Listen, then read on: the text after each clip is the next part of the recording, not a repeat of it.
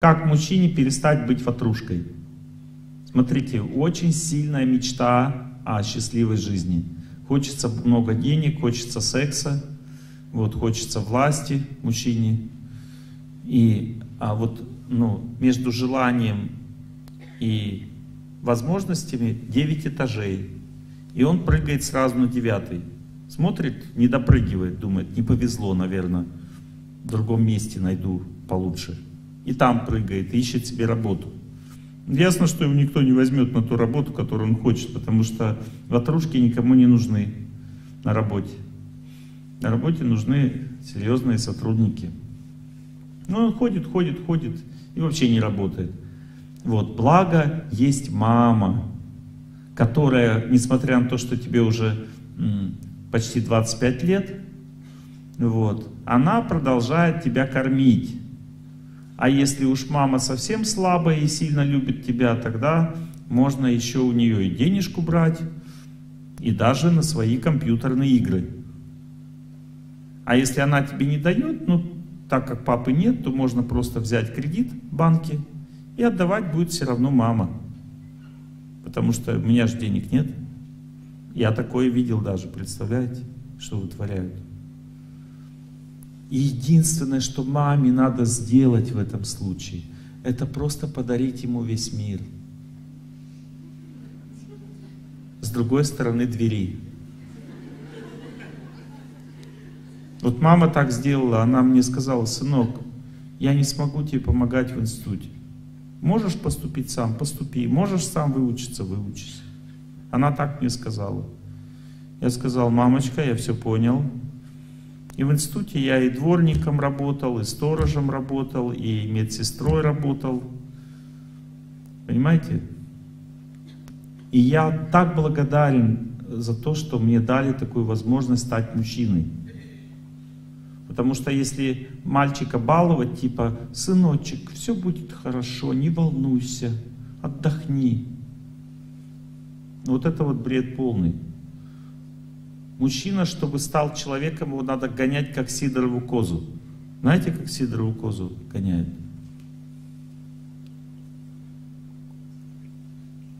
Как говорил про Сидорову козу и про Кузькину маму в Латвии. Одна женщина говорит, я в словаре не нашла, что такое Кузькина мама. Вы мне объясните, пожалуйста.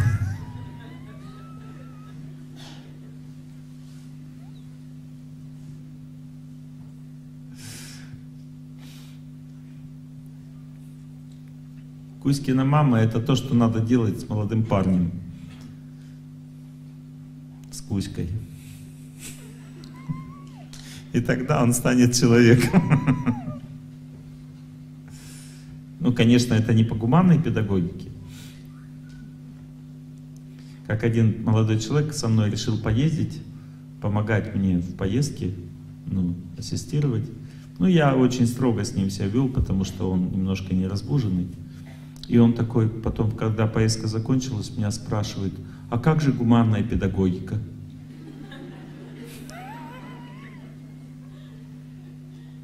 Для мужчины гуманная педагогика — это строгость. Если нет строгости с мужчиной, он ватрушкой будет всю жизнь. Да хоть до 40 лет. И будет, кстати, не женатым, потому что такой сто лет вообще никому не нужен. Даже на него женщины не посмотрят. Не то, что там... Им просто не нравятся такие мужчины. Они неприятны просто такие мужчины. Что мужчине делать? А сегодня мы вот это как раз и делали. Мы взяли просто с утра, как только проснулись, сразу побежали в снег, прямо в ветер, побежали и побежали. И 17 километров. За два часа пробежали и стали здоровыми. Тело легкое стало, все вот то, что мужчина должен делать. Должен совершать аскезы, побеждать судьбу силой внутренней. И причем я два с половиной года назад, когда начал бегать, это было летом 15 -го года. Как сейчас вот помню, просто потому что жена сказала, мне надо двигаться, иначе у меня что-то киста в щитовидке начала расти. Говорит, я говорю, давай я тебе помогу, вместе побежим. Я не думал, что так это важно человеку двигаться. Я начал бежать, и 500 метров пробежал с ней. Я не мог быстрее ее бежать, хоть я мужчина. Я пробежал 500 метров и задохнулся. И она тоже 500 метров задохнулась.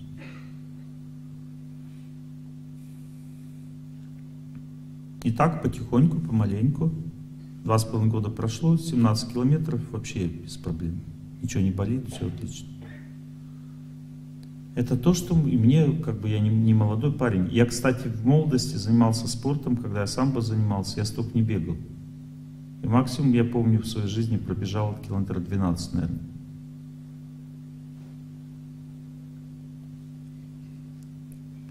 Понимаете, это то, что мужчина должен делать. Он должен закаливаться, должен спать на твердом, он должен э, учиться иногда поститься. Вот, он должен сначала разбудить свое тело. То есть мужчина будет тело сначала свое. Женщина будет соотношение сначала. Вот как женщине разбудиться? Она должна сначала учиться заботиться. Если нет людей, о кошечках заботься, там и пищу готовь, о птичках, там что-то кому-то делай, доброе дело, каждый день. Если ты что-то не сделала какой-то день, значит ты зря день провела. Корми птиц, птицы голодной зимой. Нуждайся, ну что, кто нуждается в помощи, помогай. Есть много людей, которые страдают. Мы их не видим, потому что не хотим видеть. Есть много нуждающихся людей, это женщины должны заботиться о них. Их природа заботится. И они получают от этого огромное благо в жизни. Они получают такую силу, такое влияние в жизни, что все проблемы решаются у них в жизни. Просто, просто благодаря заботе. Вплоть до того, я знаю уже много примеров, когда женщина бесплодная, вот все делает для того, чтобы родить ребенка, и здоровый образ жизни, и все, и все равно что-то не получается. Берет ребенка маленького себе из, просто из детского дома, маленького, и у нее женские функции взлетают просто все, начинают работать. И она одного рожает, второго потом сама. Просто потому, что она совершила пожертвование такое. Взяла просто ребенка на воспитание и все. Веды говорят, это и есть родной ребенок, твой родной, это не чужой. Потому что мать это не, только, не то, что родила. Некоторые думают, родила, значит мать. Мать это та, которая вырастила. Родила это не то, что вы же, вы же его там не выращивали в утробе. Это Бог его там выращивает. Вы даже не, не поняли, когда зачатие произошло. И то, что вы не выращивали. И даже рожать вы сами не можете, потому что вам акушер говорит, слушай, не мешай, расслабься. И так далее, понимаете? То есть Бог все это делает. А потом говорит, я мать, я родила. Мать это та, которая вырастила а не которая родила. Родитель, хорошо, родила, молодец. Если тело здоровое у женщины, значит она сможет нормально выносить, родить. Вот. Но мать это та, которая вырастила ребенка. И она еще за это благо огромное получает. Одной моей знакомой девушке поставили диагноз туберкулез придатков. И сказали, никогда у тебя не будет детей, даже не надейся. Ей было 24 года. Она сразу же взяла ребенка на воспитание, мальчика. Через год она забеременела еще одним мальчиком. А потом еще через год еще девочка. И у них трое детей сейчас. Хотя они думали, что никогда детей не будет. Просто решили взять сразу все. Такой аскезу Мужчина начинает с тела, женщина с отношений. Мужчина должен начать что-то делать с телом, иначе оно его приведет в полный маразм. То есть он должен там гири качать, гантели, закаливаться, двигаться. Реально, если говорить о здоровье, конечно, помогает только три вещи. Это длительное, спокойное движение непрерывное, длительное неподвижное положение тела, ну, разные положения. Можно просто, просто вперед нагнуться и лежать вот так вот 40 минут. Потом сесть на колени и назад нагнуться 40 минут. Это самое, самое простое. Промежутки между этими упражнениями надо наклоны делать, чтобы снять напряжение. Или просто идти долго-долго, или бежать долго-долго. Вот это вот то, что дает человеку выздоровление, вылечивает все болезни. Плюс еще пост. Если три вещи делать, все болезни вылечиваются вообще.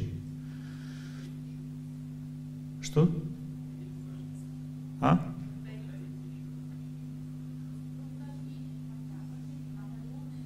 Вот смотрите, я сажусь прямо, а, ноги вперед вытягиваю и начинаю наклоняться. В это время я читаю молитву, чтобы время зря не тратить.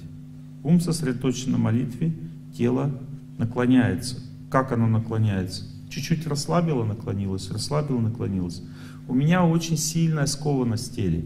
Я когда сажусь, я даже не могу сесть, вот ноги вперед вытянул, я не могу даже сесть перпендикулярно. Меня вот так вот немножко назад. И постепенно меня, я расслабляюсь, я молюсь в это время, думаю о Боге, тело расслабляется, расслабляется, расслабилось, нагнулся, расслабилось, нагнулся, расслабилось, нагнулся. Через 40 минут я достаю лбом колен.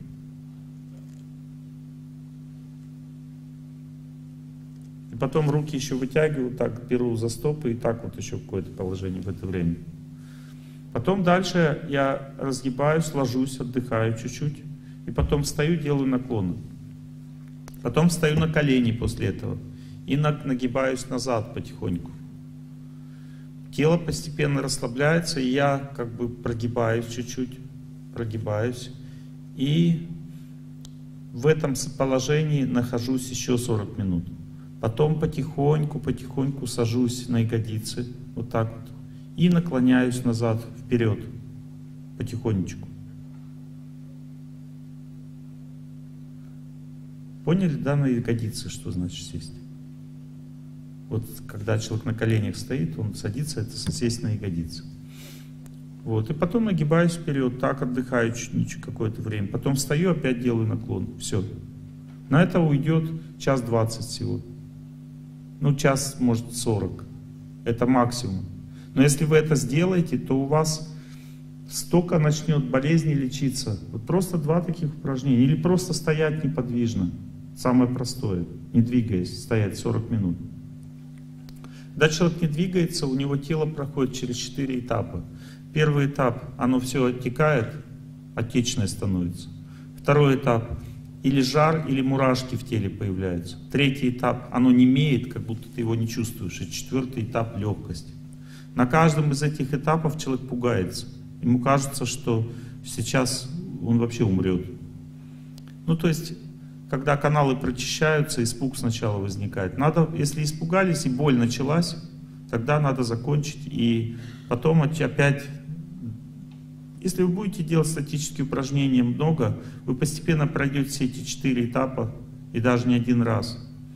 Вот ну, чтобы стоять неподвижно и вот весь этот круг пройти, обычно человеку нужно 25 минут. А если под 45 минут, то два раза, два круга вы пройдете вот таких вот. И этого, в принципе, достаточно, чтобы быть здоровым. Поститься надо на воде до обеда, самое простое. Я каждый день ничего не ем до обеда. Когда солнце восходит, человек в это время сжигаются все токсины. На восходе солнца пост самый сильный. Если человек хочет глубже поститься, он может поститься сутки. Пост сутки уже реально продлевает жизнь.